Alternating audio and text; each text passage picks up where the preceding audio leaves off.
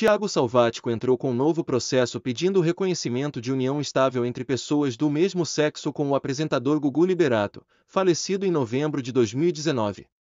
O jovem já havia iniciado o mesmo procedimento em 2020, mas, após a repercussão, desistiu do caso. Razões para desistir de continuar o primeiro processo. Segundo o jovem, ele teve que respeitar seus sentimentos e limites pessoais na época porque o impacto do caso era inimaginável para ele. Além disso, o que na época estava em estado de sigilo foi vazado pela mídia, o que causaria um grande assédio midiático não só em torno de Tiago, mas de toda a sua família, ainda aflito com a perda de Gugu, ainda segundo os registros da nova ação movida por Tiago, que percebeu a possibilidade de desistir da ação, abrindo mão formalmente de seus direitos.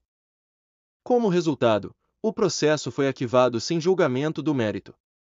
A mãe de Gugu, Maria do Céu, também apelou para que Tiago pagasse os honorários advocatícios, o que ele fez, em novo pedido de reconhecimento da estabilização sindical. Tiago Salvatico, 33 anos, hoje morando na Alemanha, explicou que conheceu Gugu Liberato em um voo de São Paulo para o Rio de Janeiro em novembro de 2011.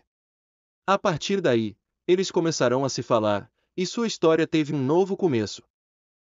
O jovem, que é formado em gastronomia, disse que só percebeu que estava conversando com o famoso anfitrião quando uma comissária o cumprimentou de forma mais positiva.